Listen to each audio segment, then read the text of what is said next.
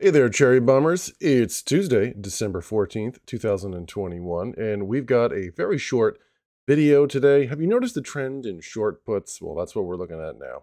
Jets is the ETF that tracks the airline indices. it, it is super in industry, not industry. It is uh, super liquid, which is nice. We got two cent wide bid ask spreads on today's trade. An IV rank of 81, which puts us in short premium territory. This seems to be a falling knife. Hey, the most you could lose, though, of course, is going to be around $1,800 if you think the airline industry is just going to poof disappear. Well, if you're ready, let's go ahead and get started at taking a look at today's cherry bomb trade. Hi, everybody. My name is Neil. This is Option Theory. You can see we're inside of Thinkorswim's simulated trading so we can get all the learning without any other risk.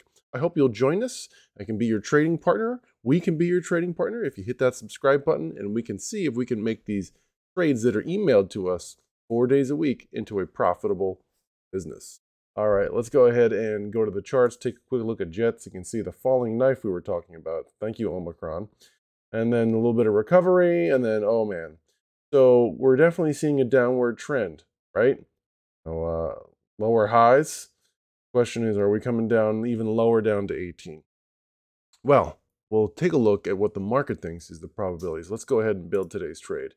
Today's trade has us in the January monthlies with 38 days to expiration as of today. We're looking at the $18 strike here with 2 cent wide bid ask spreads. It's the 19 delta and almost or over 4,500 open interest right now. I'm going to go ahead and click that bid. I'm going to penny it up one for a mid price to 36. And let's go to the risk profile and set the date in the top right to the same date we see in blue in the bottom left. That's January 22nd. And what we're looking at now is getting our price slices to break even, an 86% probability of profit, almost 87 at expiration. It's nice to see that price slice below the expected move as well. Let's go ahead and condense that just a little bit. There we go. That's a little bit easier. So we can go ahead and right click this trade, choose confirm and send, allow me to show you that screen. And here it is. Max loss 1764, max profit 36.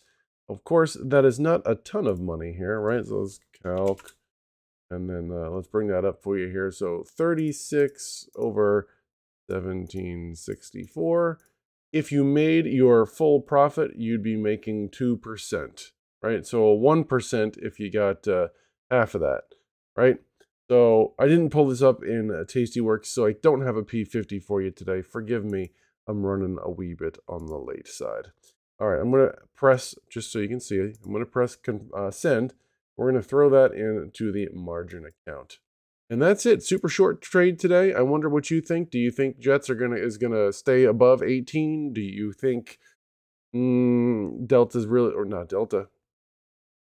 COVID, SARS CoV 2, whatever we're calling this Omicron thing, is uh, going to continue to hurt the airline industry. Love to hear from you in the comments. And uh, until then, everybody, may the market be with you.